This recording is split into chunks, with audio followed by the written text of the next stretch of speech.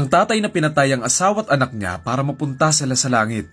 Si John Lee ay isang mayamang lalaking nagtatrabaho sa isang bangko. Nakatira siya sa isang mansyon kasama ang asawa niyang si Helen at ang tatlo nilang anak na sina Patricia, Frederick, and John Jr. Pero in 1971, nagbago lahat matapos mawalan ng trabaho si John at nagkaroon sila ng maraming utang. Dahil nga nahihiya siya sa pamilya niya at ayaw niya silang makaranas ng hirap, meron siyang naisipang gawin.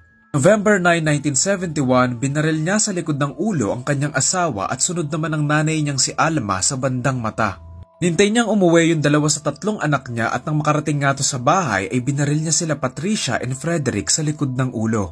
Katapos niyang patayin yung apat sa mga kapamilya niya, ang una niyang ginawa ay kumain ng lunch.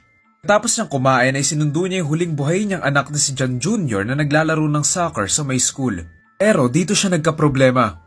Pagkapasok nila sa loob ng bahay, babarilin niya sana sa likod ng ulo si John Jr. pero na-realize nito yung gagawin niya.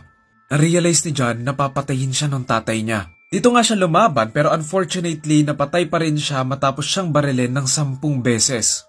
Nung maubos niya na yung pamilya niya, nagpatugtog siya ng religious music na rinig sa buong bahay at saka niya nilagay yung mga bangkay sa loob ng mga sleeping bags. Natak niya lahat ng bangkay sa loob ng ballroom ng mansyon kung saan niya sila pinagtabi-tabi. Sumulat si John ng isang letter na ipinadala niya sa pastor ng simbahan nila na nagsasabing iniligtas niya ang mga kaluluwa ng pamilya niya. Nakasulat din dito na sinabi niyang ang isang paraan para masigurado niyang mapupunta sila sa langit ay ang patayin sila.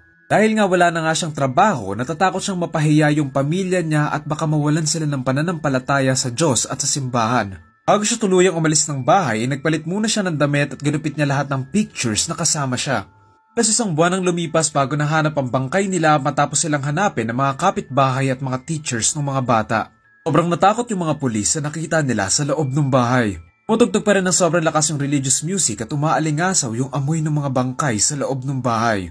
Hunting ng mga pulis si List pero hindi nila siya nahanap. Abot muna ng 18 years bago siya nahuli. Bago siya ng pangalan, nag-asawa siya ulit at nagtrabaho kung saan-saan. May 29, 1989 may indalabas na documentary sa TV tungkol sa krimeng ginawa niya and 9 days later nahuli siya. Nakita nga sa documentary yung itsura niya 18 years later and kamukhang kamukha niya. Dito nakilala siya ng kapitbahay nila at sinumbong siya sa mga pulis. April 1990, he was convicted with 5 counts of first-degree murder and 18 years siyang nakulong. In 2008, namatay din siya sa kulungan sa edad na 82 years old. Pero ang twist sa story na to, kita sa mansyon nila na meron silang skylight sa ballroom kung saan niya nilagay yung mga bangkay. Yung skylight yun ay nagkakahalaga ng $100,000 at sapat na para makapagsimula sila ulit. Nabenta niya yung skylight, hindi na sana sila maghihirap and hindi niya sana kailangan patayin sila. Tumingin lang sana siya sa taas at hindi siya nagpadala sa kadiliman, edi sana buhay pa yung pamilya niya. RIP sa List Family.